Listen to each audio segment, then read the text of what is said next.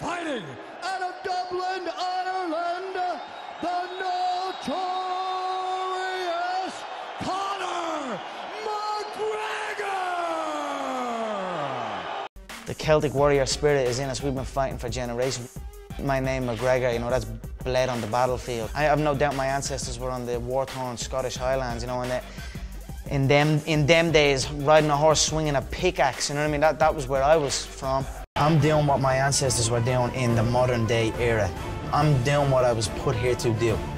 I'm prepared to take out the whole division. I'm gonna wipe it out.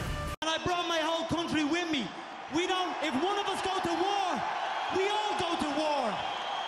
Football stadiums and world titles, that's what I want. You can call me Mystic Mac because I predict these things.